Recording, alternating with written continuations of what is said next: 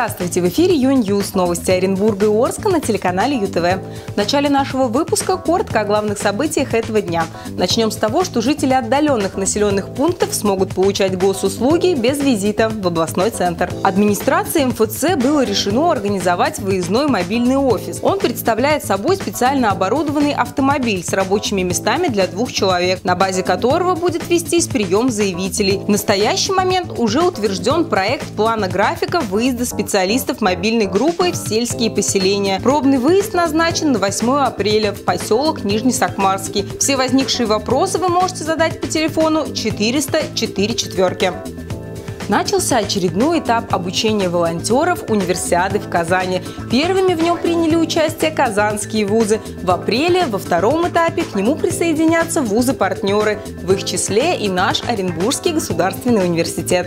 В ОГУ обучение пройдет с 15 апреля до конца мая. К обучению представлены 235 волонтеров из Оренбурга, 82 из них из Оренбургского государственного. Основные направления – это знакомство с универсиадой, странами-участницами, кодексом волонтеров и различные тренинги. Арчанка, родившая прямо в отделении полиции, поблагодарила полицейского, который оказал ей помощь в родах. Молодую маму и дочку, которую, кстати, назвали Викторией, уже выписали из роддома. Их вместе со счастливым отцом семейства встречал и майор внутренней службы Виктор Бесшапошников, который принимал роды у Арчанки.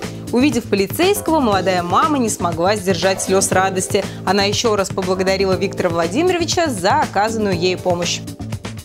Оренбургский санаторный дом детства вновь в центре скандала. Ходе прокурорской проверки были выявлены новые нарушения. В этот раз директор Валентина Тизикенова подозревается в использовании детского труда.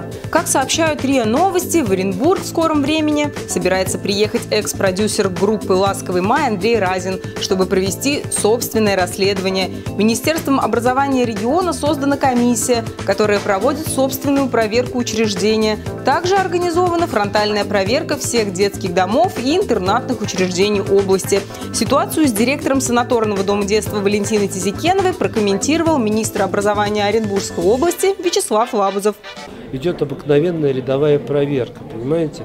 Этих проверок, ну, в любом образовательном учреждении десятки – я Валентину Николаевну понимаю, я от души сочувствую ей. Это, в общем-то, не слова так в экран или на микрофон, а по-настоящему сочувствую, потому что долгие годы она была успешным человеком, а здесь вдруг сбой, поэтому, может быть, она порой, э, скажем так, ну, неадекватно оценивает ситуацию, и э, эмоциональный фон здесь над холодным рассудком, что называется, превалирует. А соответствующие органы разберутся. Если, так сказать, есть определенные недостатки, они будут поправлены. По крайней мере, мы провели проверку средней школы, которая действует при э, санаторном доме детства. Ну, там есть и хорошие учителя, есть и не очень хорошие учителя, мягко говоря. Но э, мы со всеми спокойно разобрались. Они э, в, лет, э, в, вот, в весенние каникулы будут заниматься по индивидуальному маршруту. То есть мы э, сказали о тех недостатках, отметили положительные моменты, с ребятами поговорили. Э, детский дом работает в обыкновенном режиме. Побегов нет, в омороке никто не падает.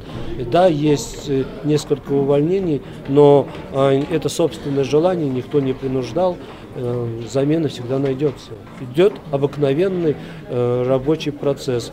И ажиотажа вокруг этой темы, наверное, хватит, потому что мы пылу полемики забываем о том, что там живут дети, они смотрят телевизор, читают, так сказать, периодические издания, и им, конечно, очень неприятно о том, что вот об их в образовательном учреждении, по-настоящему доме, да, и вот такие э, дебаты разворачиваются.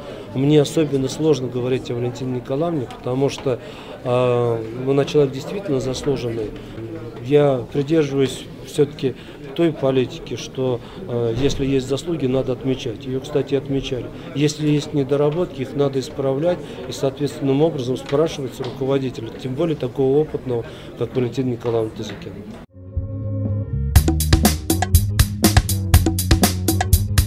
В одном из прошлых выпусков новостей мы уже говорили о том, что в Орской городской больнице номер 4 появилось новое современное оборудование. Это магнитно-резонансные и компьютерные томографы. На сегодняшний день оборудование установлено и прошли пилотные запуски. А это значит, что уже в середине апреля первые пациенты смогут пройти обследование. Самые такие работы тяжелые и объемные проводились в техническом помещении. Там установлена система кондиционирования, вентиляции, охлаждения, эта система инженерная, она обеспечивает работу магнита. И по длительности вот именно эти работы заняли основное время. Затем работы перешли в помещение процедурной магнитно-резонансного томографа. Так как будет присутствовать сильное электромагнитное поле, отделка помещений выполнена специальными материалами. Установлена рабочая станция врача и лаборанта. Помещение и оборудование у нас готово к работе. Я сейчас непосредственно работаю на компьютерном томографе. Принцип работы основан на исследовании плотности тканей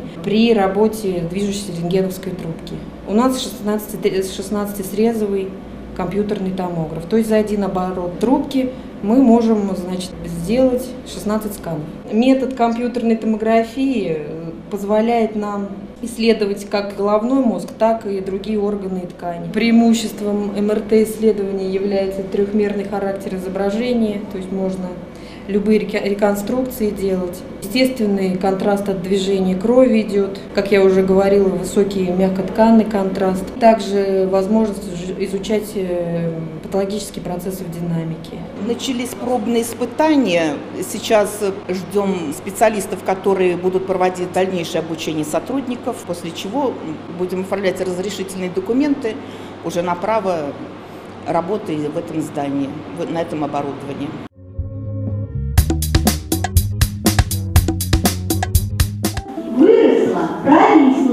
Бороды повылезла, солнышко встало, ничего не стало. А, совместно с Оренбург водоканалом мы задействовали такую акцию а, показать детям, людям о том, что вода – это самое главное. 22 марта от а, Всемирной организации ООН был запущен такой проект и проходит по всему миру ряд мероприятий. Оренбург тоже решил принять участие. Ура! Пойдем! Ух ты! А? В эти дни мы говорим об экономном использовании водных ресурсов, о том, что они исчерпаемы, о том, что их нужно беречь. Мы стараемся в этом году совместно с волонтерами нести эту тему в массы и даже посредством детей, потому что молодое поколение поможет нам рассказать об этом будущим поколениям. Вода – это, сам, как бы сказать, самое главное в жизни, то, что человек не может обойтись без воды. Нужно меньше тратить воды. Ну, например, мама просит посуду помыть, я наливаю сначала в чашку, две чашки воды и мою посуду. Вода очень полезна для природы и никогда не вредит. Вода дает электричество. В стакане чая у вас вода, в арбузе вода, огурец сплошная вода. Тело человека на две трети тоже состоит из воды. Капелька фея дает информацию о воде, рассказывает, проводит игры, беседы о незагрязнении воды и бережном отношении к воде. Вода на земном шаре – это трехлитровая банка, то полстакана занимает только пресная вода. Из этой пресной воды только три капли чистой питьевой воды, пригодной для питья. 27 марта по праву считается Всемирным днем театра. Упоминание о первой театральной постановке датируется 2500 годом до нашей эры. Международный день театра – это не просто профессиональный праздник мастеров сцены, но и миллионов неравнодушных зрителей. В Оренбурге в рамках этого события в Оренбургском областном театре музыкальной комедии зрители наслаждались спектаклем «Ревю», посвященным 130-летию со дня рождения Имры Кальмана – под названием «Король и его женщины».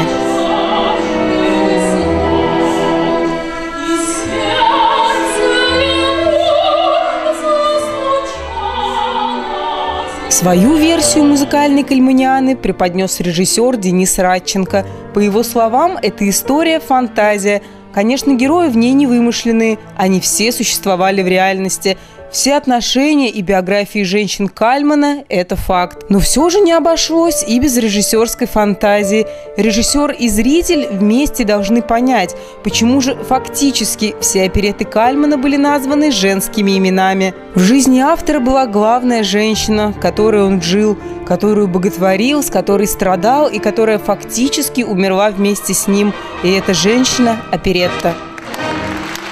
Зрители в очередной раз приняли спектакль на ура.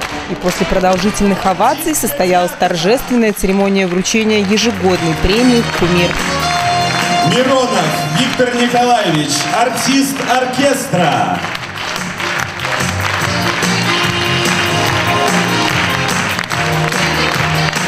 Награждается благодарственным письмом министра. Самое искреннее, душевное пожелание вам, всей группе, труппе, Браво вам всем с Международным днем театра!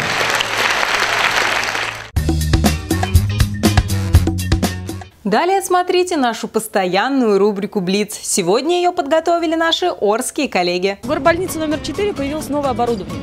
Это магнитно-резонансный компьютерный томограф. Вы как думаете, насколько важно в орских медучреждениях вот иметь такое оборудование? А какие могут быть сомнения? Чем сложнее, тем необходимее. Такого у нас давно нет, это в Новотроицке только есть. А теперь пора и нам иметь. Большая важность, конечно. Что вы, там же вот сказали по телевидению вчера, что э, э люди, которые 200 килограмм, их могут просматривать, их болезни и все. Так что это положительное. Конечно, очень важно. У нас экология такая. Здоровых людей почти нет что там говорить? Конечно, надо проверяться людям. Не ездить же в Новотроицк. Ну, я не знаю. То есть для нашего города это очень Конечно, очень важно. Городу? Ну, конечно, нужен. А куда нам больше обращаться, если вот надо, допустим, снимок головы? Резансовая компьютерная диагностика, да? Это хорошая, да. Я считаю то, что важно, поскольку наш город не должен отставать от продвинутых, так сказать, городов. И лечение должно быть эффективным, таким же, как и в более крупных городах. Безусловно. Настолько важно, что мы же устали уже мотаться с детьми на томограф там где-то где, -то, в Новоорске. Безусловно. Вообще горбольница номер 4, я считаю, это образец в нашем городе. Конечно, важно. Ни в одной больнице уже нет ничего. Ну, конечно, это важно.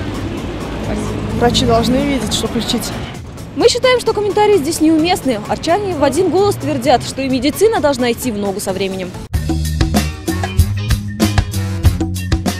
Афиша предстоящих событий и спортивных мероприятий смотрите далее. 30 марта в 11.00 в Оренбургском драмтеатре состоится заключительный этап областного конкурса «Читающая семья-2013». В программе литературного праздника выступления профессиональных актеров и музыкантов. Начало в 11.00.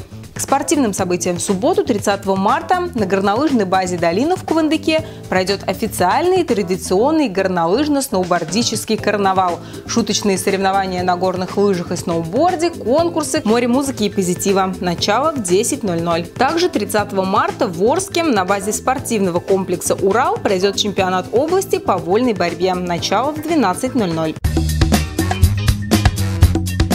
Это были все новости на сегодня. Увидимся завтра в это же время на телеканале ЮТВ.